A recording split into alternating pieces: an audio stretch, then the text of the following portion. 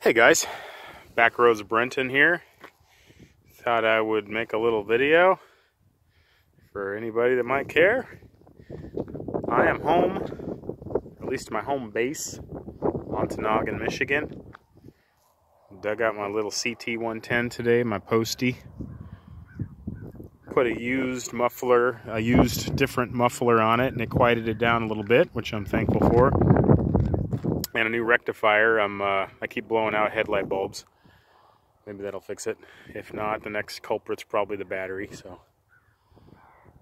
uh, so yeah, it's like almost April. Kind of having a late spring. Or I guess this is pretty normal, but I'm not from here. People say this is pretty normal, but the past three years that I've been here, it's come in March, so you know the ice has gone out. So this is our marina.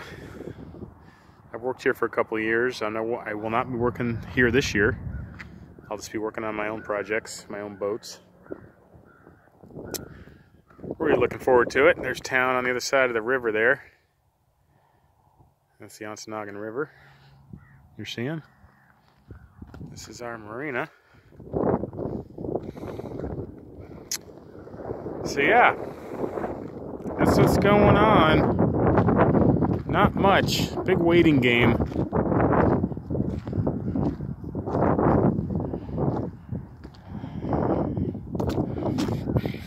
It's going to fall back down into the 30s for like another week, so pretty merciless. Sick of it. Everybody gets sick of it this time of year, so. All right. Catch you guys later.